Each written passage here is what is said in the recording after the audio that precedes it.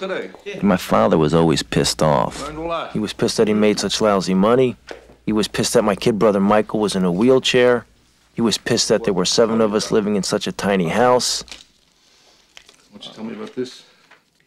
It's a letter from school. It says you haven't been there in months. In months!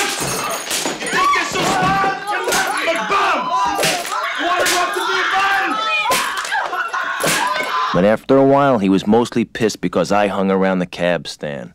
He knew what went on at that cab stand. And every once in a while, I'd have to take a beating.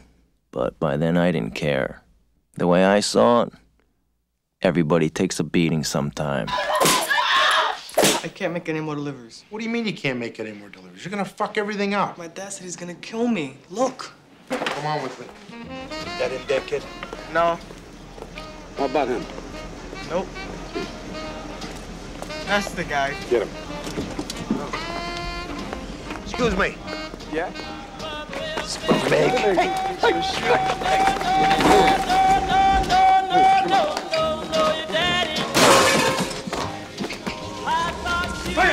You know this kid?